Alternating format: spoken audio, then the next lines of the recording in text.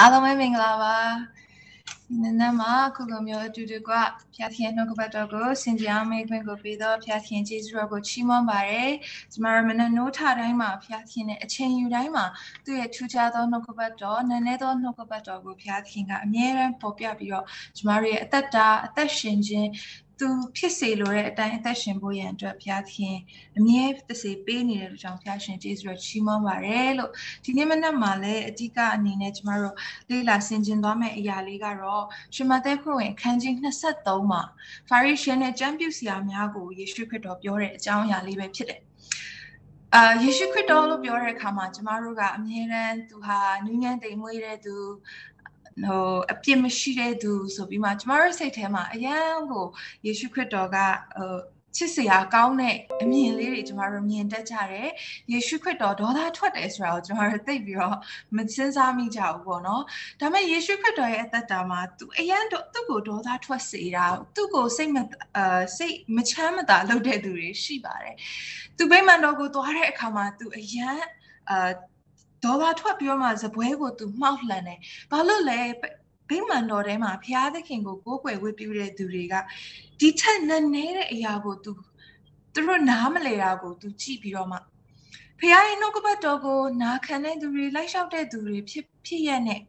အချင်းချင်းဖိနှိပ်ချုပ်ချယ်နေတာတွေကိုဗိမာန်တော်ကတင်စတင်လှုပ်ဆောင်နေတာတွေကိုသူမြင်တဲ့အခါမှာသူရန်တော်သားထွက်တယ်အထူးသဖြင့်သူပြောနေတဲ့နှုတ်ကပတ်တော်ရဲ့နည်းနည်းချင်းတွေကိုနားမလည်နိုင်တဲ့ ကျမ်းပြုဆရာတွေလို့ပြောတဲ့ Pharisee တွေကျမ်းတက်ပုဂ္ဂိုလ်တွေကိုသူကပို့ပြီးတော့မှအသေးရတဲ့ယေရှုခရစ်တော်ဖြစ်တယ်အဲ့တော့အဲ့ဒီကျမ်းတက်ပုဂ္ဂိုလ်တွေ Pharisee တွေเนาะအဲသူတို့ကိုစကားပြောတဲ့အခါမှာယေရှုတီးခံတယ်ဒါပေမဲ့နောက်ပိုင်းမှာနားမလည်လာနိုင်တဲ့အရာတွေကိုသူမြင်လာတဲ့အခါယေရှုပြောတဲ့အရာတွေကိုလည်းအမြဲတမ်းထောက်ပြီးတော့မှเนาะယေရှုကိုအပြစ်ရှာတဲ့ကြောက်တွန်းတာတွေကိုမြင်လာတဲ့အခါ ယေရှုခရစ်တော်ကသူတို့ကိုပြောတဲ့စကားလေးကနေဒီနေ့ကျမတို့ဆင်ခြင်ကြမှာဖြစ်ပါတယ်လို့အဲယေရှုပြောတဲ့စကားကနည်းနည်းနားတယ်နော်ဖတ်လို့ရှင်တော့မှကျမတို့တော့မှနားတယ်ပါရိရှဲတွေကျမ်းတဲ့ပုဂ္ဂိုလ်တွေဘယ်လောက်နာမလဲဆိုတာကျမတို့ခံစားနိုင်မှာပေါ့နော်ဒါပေမဲ့ဒီနေ့မှာတော့အဲ့ဒီပါရိရှဲနဲ့ကျမ်းတဲ့ပုဂ္ဂိုလ်များကိုကျမ်းပြုဆရာတွေကိုယေရှုခရစ်တော်ပြောတဲ့စကားအဖြစ်ကျမတို့အသက်တာမှာလဲခွန်အားယူစရာရှိတယ်အဲ့ဒီလိုမဖြစ်မိအောင်လို့ကျမတို့ပြုပြင်အသက်ရှင်နေရမယ်တတိထားနေရမယ်ဆိုတာလေးကိုခွန်အားပေးချင်ပါတယ်လို့ဆိုတော့ရှေးဥစွာရှမသက်ခရစ်ဝင်အခန်းကြီး23ရှမသက်ခရစ်ဝင်ခန်းကြီး23အငယ်25မှ28ကိုဖတ်ချင်ပါတယ်ရှမသက်ခရစ်ဝင်ခန်းကြီး23အခန်းငယ်25မှ26လျှို့ဝှက်သောကျမ်းပြုစရာဖာရိရှဲတို့သင်တို့သည်အမင်္ဂလာရှိကြ၏ အကြောင်းမူကားဖလားလင်ပန်းကို အပြစ်၌စေကြောကြ၏အတွင်း၌မူကားလူယူခြင်းမတရားသဖြင့်ကျင့်ခြင်းနှင့်ပြည့်လျက်ရှိ၏မျက်စိကန်းသောဖာရိရှဲဖလားလင်ပန်းကို အတွင်း၌ရှေးဥစွာစေကြောလော့တို့ပြုလျင် အပြင်ကားတန်ရှင်းလိမ့်မည်လျှို့ဝှက်သောကျမ်းပြုစရာဖာရိရှဲတို့တင်တို့သည်အမင်္ဂလာရှိကြ၏ အကြောင်းမူကားအဖြူတုတ်သောတင်ကြိုင်တွင်နှင့်တူကြ၏ထိုတွင်းသည်အပြင်၌တင့်တယ်စွာတကားအတွင်း၌ကလူသေးအယိုးအညစ်အကြေးအမျိုးမျိုးနှင့်ပြည့်လျက်ရှိ၏ထိုတူတင်တို့သည်အပြင်၌လူတို့ရှိမှဖြောင့်မှတ်ဟန်ရှိ၏အတွင်း၌ကလျှို့ဝှက်ခြင်းမတရားသဖြင့်ကျင့်ခြင်းနှင့်ပြည့်လျက်ရှိကြ၏ဒီနေ့ဒီစကားကိုကျမတို့ကြားတဲ့အခါမှာကျမတို့ကြုံတွေ့နေရတဲ့ခေတ်ကာလခေတ်အခါနဲ့ အယံကိုစီလျော်နေတဲ့စကားလေးတွေဖြစ်ပါတယ်လို့ဒီမှာဖာရိရှဲနဲ့ကျမ်းပြုဆရာတွေကိုယေရှုခရစ်တော်ညွှန်းတဲ့အခါမှာသူပေးတဲ့နာမည်ကလျှို့ဝှက်သောကျမ်းပြုဆရာဖာရိရှဲလို့ခေါ်ပါတယ်အနောက်ွယ်မှာအသက်ရှင်တဲ့အသက်ရှင်မှုရှင်ကြီးရှိတယ် သူများတွေကိုမဖော်ပြတဲ့အသက်ရှင်ပုံရှင်လေးရှိတယ်။လျှို့ဝှက်စွာအသက်ရှင်နေတဲ့အရာရှိတယ်။အဲ့ဒီအရာကတော့အမင်္ဂလာဖြစ်ပါတယ်။ဖျားသခင်ကသူတို့ကိုအမင်္ဂလာလို့နာမည်တက်ပြီးတော့ခေါ်တဲ့အရာကဘာလဲဆိုတော့အတွင်းနှလုံးသားမှာပြောင်းလဲခြင်းမရှိဘဲနဲ့အပြင်ပန်းကနေဟန်ဆောင်ပြီးတော့ဖျားသခင်အရှိန်မှဖြောင့်မတ်တော်သူကဲ့သို့အသက်ရှင်ခြင်းဖြစ်တယ်။အတွင်းနှလုံးသားတွေကဖျားသခင်ရဲ့ဖြောင့်မတ်ခြင်းသဘောကို လက်ခံယုံကြည်ထားတာထက်အပြင်သဘောအားဖြင့်ပဲဟန်ဆောင်ပြီးလှုပ်ပြနေတဲ့အတွင်းထဲမှာတော့အဲ့ဒီဖြောင့်မတ်ခြင်းနဲ့ဆက်ဆိုင်တဲ့တရားကိုရွေးချယ်ခြင်းမရှိဘဲနဲ့မတရားသဖြင့်ကျင့်တဲ့သူတွေဖြစ်တယ်လို့ယေရှုခရစ်တော်ကပြောပါတယ်။ဒီနေ့ယေရှုခရစ်တော်အသက်ရှင်သွားတဲ့အခါမှာကျမ်းပြုဆရာဖာရိရှဲဗိမာန်တော်ကအရာရှိအမှုတော်ဆောင်နေဟာဆိုရင် ကိုနဲ့ဆက်ဆိုင်သောသူကိုကိုနဲ့အမြချစ်လို့ဆိုရယ်ဘုရားသခင်ပေးတဲ့ပြည့်ညတ်တော်ဘုရားသခင်ကိုစိတ်နှလုံးအကျွမ်းမဲ့နဲ့ချစ်ရမယ်ဆိုရယ်ပြည့်ညတ်တော်တွေကိုသူတို့ life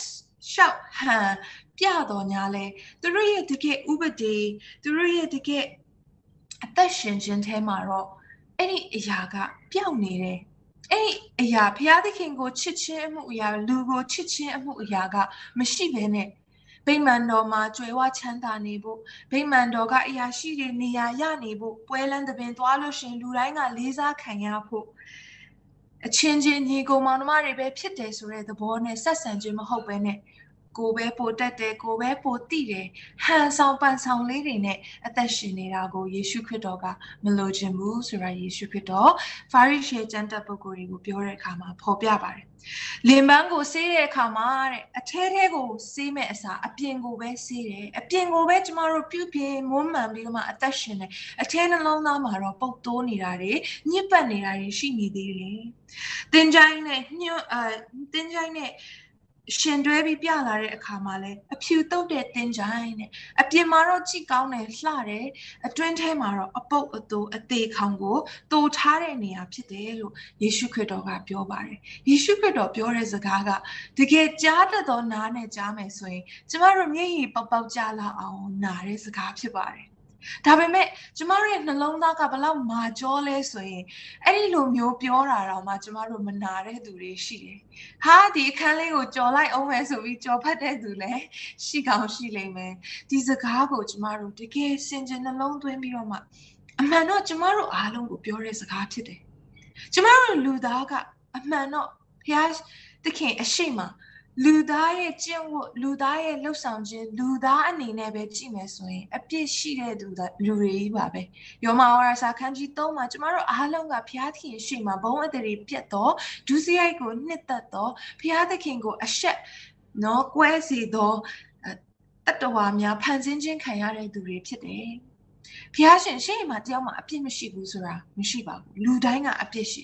ဒါပေမဲ့ဖာရိရှဲနဲ့ကျမ်းပြုဆရာတွေကဘာမှားတာလဲဆို ကိုကပဲပို့ပြီးတော့အပြစ်မရှိတယ်လို့မျိုး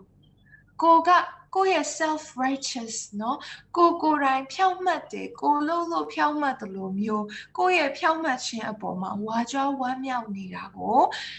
သခင်ယေရှုခရစ်တော်ကတတိပေးနေတာဖြစ်တယ်။ဒီနေ့ဖခင်သခင်ရဲ့ဂျေဇုတော်တသက်ကြောင့်မလို့ကျမတို့ကဖြောင့်မတ်ခြင်းရရှိတာဖြစ်တယ်။ဖခင်သခင်ရဲ့ဂျေဇုတော်သူ့ရဲ့တပါးလေးသောသားတော်ကိုအပြစ်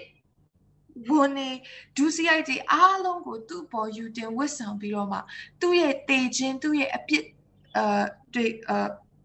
အပြစ်ကိုစေးကြောဖို့ရန်အတွက်အသွေးသွင်းခြင်းကကျမတို့အားလုံးရဲ့ဖြောင့်မတ်ခြင်းဖြစ်တယ်။ကိုကိုယ်တိုင်လုပ်လို့ရတဲ့အရာမဟုတ်ဘူးဆိုတာကိုကျမတို့ကလက်ခံယုံကြည်တဲ့အခါမှာကျမတို့ကဘုရားသခင်အရှိမခရစ်တော်ယေရှုရဲ့ကျေးဇူးတော်တသက်ကြောင့်ကျမတို့ဖြောင့်မတ်ခြင်းရှိတော်သူများဖြစ်တယ်။ကျမတို့မှာဝါကြွားစရာဒါပဲရှိတယ်။ခရစ်တော်ယေရှုကြောင့်မလို့ငါဖြောင့်မတ်တာ။မင်းလည်းအပြစ်သားငါလည်းအပြစ်သားငါလည်းအပြစ်ရှိရမင်းလည်းအပြစ်ရှိရအပြစ်လုပ်ဖို့ဆိုရင်ဝန်ကိုမလေးတဲ့အပြစ်သားများများကိုဖျားသခင်ကကဲနှုတ်တာငါတို့အဲ့ဒီယေရှုခရစ်တော်ကိုယုံကြည်နေသေးသေးငါတို့ဒီဖြောင့်မတ်တော်သူများဖြစ်တယ်ဆိုတာကိုပဲဝါကြွားစရာရှိတာဒါပေမဲ့ဒီနေ့ကျမ်းတဲ့ပုဂ္ဂိုလ်တွေဖာရိရှဲတွေကတော့ကိုယ့်ရဲ့ကုသိုလ်ကိုလှုပ်ခြင်းကိုပေးကမ်းခြင်းကိုယ့်ရဲ့ပါဝင်ခြင်းကိုယ့်ရဲ့ ဟန်ပြနဲ့ဖြောက်မှတ်စွာနေနေခြင်းအပေါ်မှာဝါကြွားဝမ်းမြောက်ကြတယ်။ဖော်ပြနေရင်းနဲ့ဘုရားသခင်ရဲ့ဖြစ်စေခြင်းတဲ့အသက်တာနဲ့လုံးဝလွဲသွားတယ်ဆိုတာကိုကျွန်တော်တို့တွေ့ရပါတယ်။ဒီအကြောင်းလေးနဲ့ဆက်ဆက်ပြီးဘာဖြစ်လို့ဒီနေ့မှာကျွန်တော်တို့ဝင်းငှအဲဒီနေ့ကျွန်တော်ဝင်းငှရတယ်လဲဆိုတော့ဗျာဒိတ်ချန်ခန်းကြီး3မှာခရစ်တော်ယေရှုကအသင်းတော်ခုနှစ်ပါးကိုရေးတဲ့စာကိုကျမတို့ပြန်ကြည့်တဲ့အခါတတိယအသင်းအဲတတိယအသင်းတော် သွားသွားသွားတိရနော်သွားတိရမြို့မှာရှိတဲ့အသင်းတော်ကိုရေးတဲ့စာကိုကျမတို့ကြည့်မယ်ဆိုလို့ရှင်အခန်းကြီး2ဗျာဒိတ်ကျမ်းခန်းကြီး2အငယ်18ကနေပြီးတော့မှ29အထိဖြစ်ပါတယ်သူ့ကိုရေးသားထားတဲ့စာ ဗျာဒိတ်ချန်ခန်းကြီး2အငယ်16မှ29ဖြစ်တယ်။တခုလုံးကိုတော့ကျမတို့မဖတ်တော့ပါဘူး။ဒါပေမဲ့အပိုင်းပိုင်းလေးတွေကိုကျမတို့ကြည့်သွားမှာဖြစ်တယ်။အဲဒီမှာယေရှုခရစ်တော်ကဒီအသင်းတော်ကိုချီးမြှောက်တဲ့အရာဂုဏ်ပြုတဲ့အရာကတင့်အကျင့်ကျင့်ခြင်းချစ်ခြင်းအမှုဆောင်ခြင်းယုံကြည်ခြင်းတိခံခြင်းကို၎င်းနောက်ကျင့်သောအကျင့်တို့သည်အရင်ကျင့်သောအကျင့်ထက်တာ၍များကြောင်းကို၎င်းငါသိ၏။အသင်းတော်အသင်းတော်မှာဒီတွတိယအသင်းတော်မှာ အာယုံကြည်သောသူများကအရင်အကျင့်တွေထက်နောက်မှာပြုတဲ့အကျင့်ကပိုရိပ်ကောင်းတယ်ဆိုတာတိုးတက်မှုရှိနေတာကိုငါသိတယ်။ယုံကြည်ခြင်းအရာမှာတိုးပွားနေတာတွေကိုငါသိတယ်။ယုံကြည်ခြင်းနဲ့အတူအကျင့်အရာမှာလည်းတိုးပွားနေတယ်။အရင်အကျင့်တွေထက်ပိုပြီးတော့ကျင့်လာတယ်ဆိုတာကို တွေ့တယ်ငါသိပါတယ်သို့တော်လည်းငါဤအစေခံကျွန်တို့သည် မတရားသောမိထုံကို ပြုစေခြင်းက၎င်းယုတ်တုရှိမှပူဇော်သောရစ်ကောင်ကိုစားစေခြင်းက၎င်းပရောဖက်မှဟူ၍ခေါ်ဝေါ်ကိုကိုခေါ်ဝေါ်သောတင်ဤခင်ပွန်ယေဇဗေလသည်တွင်တင်၍မှားယဲစေသောအခွင့်ကိုတင်သည်ပေးသောကြောင့်တင်၌အပြစ်တင်စရာရှိ၏။နောင်တရတင်သောကာလကိုငါပေးတော်လဲသူသည်မိမိမတရားသောမိတုံကိုနောင်တရခြင်းသောစိတ်မရှိ။ ဒီမှာအာဗျာဒိတ်ကျမ်းကိုကျမတို့ဖတ်လို့ရှင်အရေးကြီးတဲ့အရာကဗျာဒိတ်ကျမ်းကအနာဂတ်ကိုပဲဖော်ပြနေတဲ့ကျမ်းမဟုတ်ပါဘူး။တောက်လျှောက်ဘုရားသခင်ရဲ့အသင်းတော်တမိုင်းဘုရားသခင်ရဲ့ပြုနေသောအမှုအရာဟိုးဓမ္မဟောင်းကလေးကနေပြီးတော့မှဖြစ်ပေါ်နေတဲ့အရာတွေကိုလည်းသူကကျမတို့ထင်တယ်လို့မျိုး2000ခုနှစ်ကျော်မှဖြစ်မယ်ဆိုပြီးတော့ဖတ်ရတာမဟုတ်ဘူးเนาะဗျာဒိတ်ကျမ်းဆိုတာကကျမတို့ရဲ့အသင်းတော်တမိုင်းတောက်လျှောက်အာဘုရားသခင်ရဲ့ ဟိုးအစဖန်ဆင်းခြင်းကနေလက်ရတော်တွေကိုအကုန်လုံးမြင်ရတဲ့ဗျာဒိတ်ကျမ်းဖြစ်ပါတယ်ဆိုတော့ကျမတို့ဒီအရာကိုဖတ်တဲ့အခါမှာအော်သွားတိရပြည်မှာအမျိုးမှာရှိတဲ့အသင်းတော်အဲ့ဒီခေတ်အခါကိုပဲသခင်ယေရှုပြောတယ်လို့ဖတ်ခြင်းမဟုတ်ပဲねဒီနေ့ကျမတို့အသင်းတော်တွေကိုလည်းဘုရားသခင်ခရစ်တော်ယေရှုဘာပြောနေတယ်လဲဆိုတာကိုကျမတို့ဆင်ခြင်ကြည့်တဲ့အခါမှာကောင်းတဲ့အကျင့်တွေကိုကျမတို့ပို့ပို့ကျင့်လာတယ် တမန်တရားမှာကျမတို့ပို့ပို့ပြီးတော့မှနော်အချိန်ပေးလာတယ်ဘုရားသခင်ကိုတမန်တတိနဲ့စောင့်မျှော်နေကြတယ်ဘုရားသခင်ပြုမဲ့အမှုတွေကိုကျမတို့မျှော်လင့်တတ်ကြတယ်ယုံကြည်ခြင်းအရာမှာအားမလျော့သွားဘူးသခင်ခရစ်တော်သိပါတယ်ဒါပေမဲ့ခက်ခဲခက်တဲ့အရာကတဲ့ဒီအသင်းတော်မှာတဲ့မတရားသောမေထုံကိုလိုက်ဝဲမိခိုနေတဲ့သူတွေရှိသေးတယ်သူတို့ရဲ့ symptoms ပေါ့နော်ကျမတို့မြင်ရတဲ့ယောဂတစ်ခုမှဆိုလို့ရှိရင်ကျမတို့မြင်ရတဲ့အရာလေးတွေရှိတယ်အဲ့ဒီအရာလေးတွေအပြင်ကျမတို့ဆရာဝန်ကိုသွားပြတယ်ဆရာဝန်ကပို့ပြီးနက်နဲတဲ့အရာကိုရှာဖွေတဲ့အခါမှာနက်နဲတဲ့အကြောင်းအရင်းကိုကျမတို့တွေ့ရှိရတယ်အဲ့တော့အမောဖောက်တယ်ဆိုလို့ရှိရင်အမောဖောက်တာကိုကျမတို့ကြည့်ပြီးတော့မှအော်အဆုပ်ဒါမှမဟုတ်နှလုံးတစ်ခုခုဖြစ်တယ်ဒါကြောင့်နှလုံးယောဂကုသတဲ့ဆရာဝန်အဆုပ်ကြည့်ပေးတဲ့ဆရာဝန်သူ့ကိုသွားပြရတယ်ဒီလိုပဲ အသင်းတော်ကိုသခင်ယေရှုကယောဂလက္ခဏာကိုကြည့်လိုက်တဲ့အခါမှာမတရားသောမိထုံမှာပြုအပြုမေထုံကိုပြုစေခြင်းက၎င်းရုတ်တုရှိမှာပူဇော်သောရစ်ကောင်ကို၎င်းစားစေခြင်းအရှိကအသင်းတော်စမောရစမောရနာအသင်းတော်မှာလည်းဒီအကြောင်းအရာကိုပဲဖော်ပြအဲကျမတို့အခြေခံကိုပြန်ကြည့်မယ်ဆိုလို့ရှိရင်မတရားသောမေထုံကကျမတို့ဘာဖြစ်လို့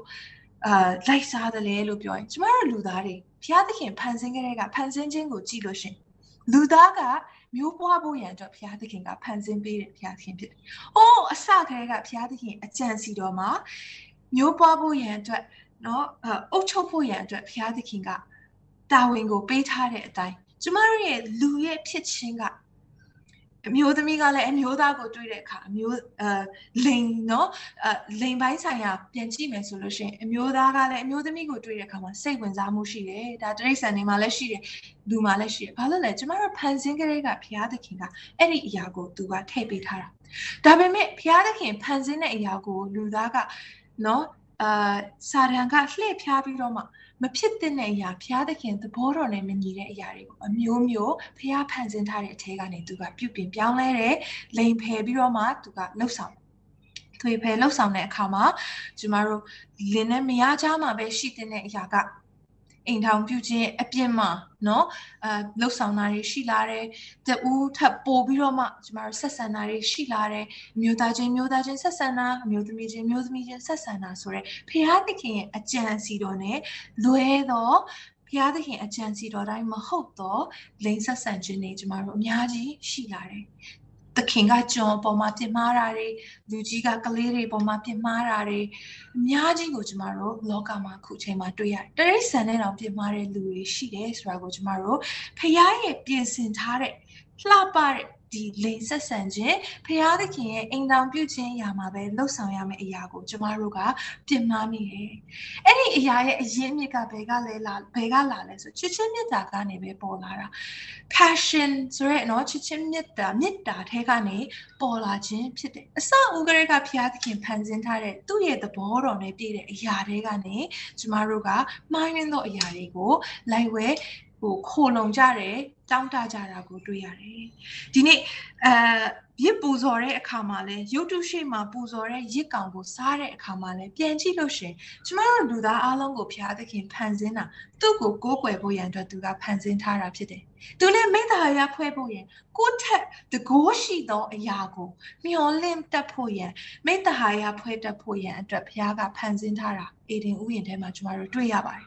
ဒါပေမဲ့အေဒင်ဥယျာဉ်အပြင်ထွက်လာတဲ့အခါမှာဘုရားသခင်နဲ့ကျမတို့မိသားရပြတ်သွားတဲ့အခါမှာကျမတို့ကအဲ့ဒီစစ်မှန်တဲ့အရာတွေကိုကျမတို့ကပြောင်းလဲလိုက်ပြီးတော့မှအခြားသောဘုရားတွေကိုကျမတို့ရှာကြတယ်အဲ့တော့သိပ္ပံမှာဘာပဲဟိုသိ sorry သိပ္ပံမဟုတ်ကျမတို့လူ လူအ anthropology လူအကြောင်းအရာကိုကျမတို့လေ့လာတဲ့အခါမှာဘာအများကြီးတွေ့လဲဆိုတော့လူသားဖြစ်ပြီဆိုရင်ကျမတို့ကကိုယ်ွယ်ရာကိုရှာတတ်တယ်အဲ့တော့ရှေးလူသားတွေကိုကြည့်မယ်ဆိုလို့ရှိရင်သူတို့ကသူတို့ထက်တကိုးကြီးတဲ့သူတို့ပိုင်တအုပ်ဆိုးလို့မရတဲ့ nature เนาะတဘာဝတရားကိုသူတို့ကကိုးကွယ်ကြတယ် တစ်ပင်လေးကိုးကွယ်တာရှိတယ်အာလေ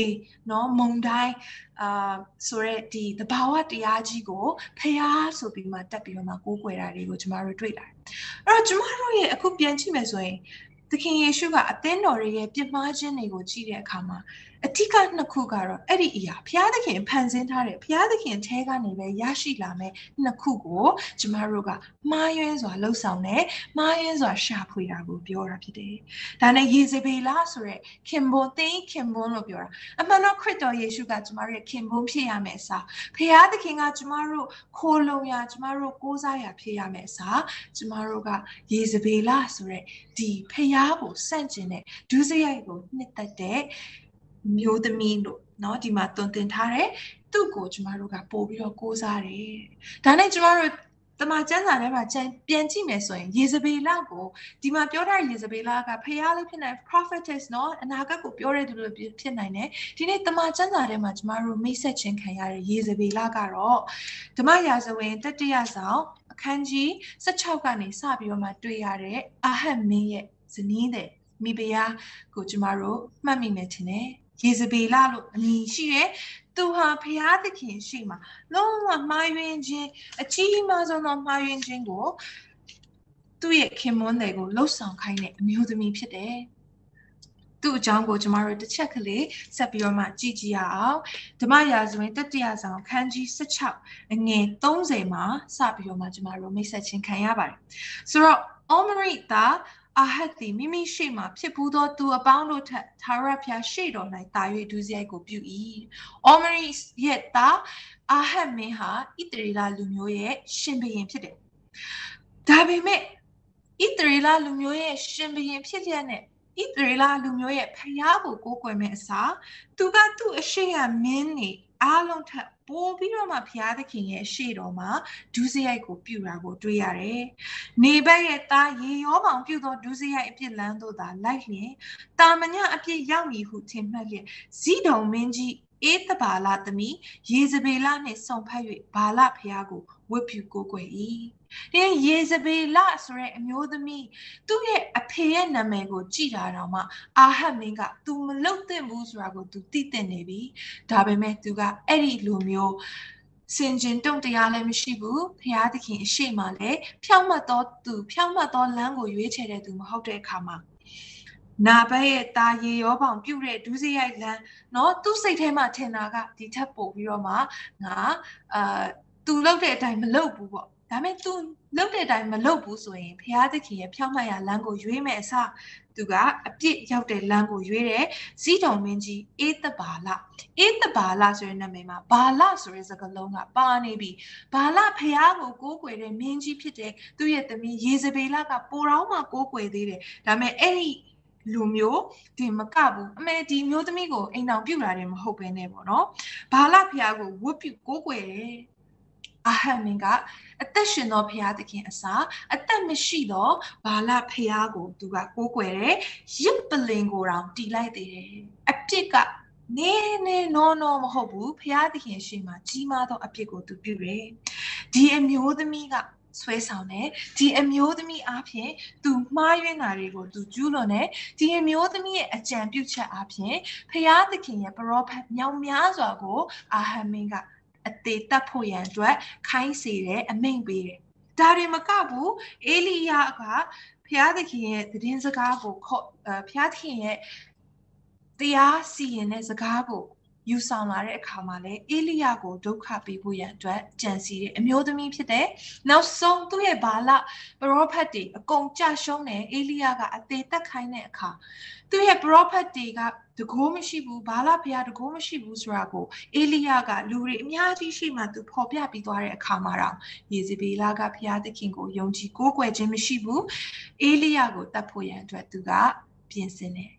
ကြံစီတယ်ဒါနဲ့ နောက်ဆုံးမှာကျမတို့အာအခြေအနေကဘယ်လောက်တောင်ဆိုးလာလဲဆိုတော့အခန်းကြီး21ကိုရောက်တဲ့အခါမှာအာဟတ်မင်းက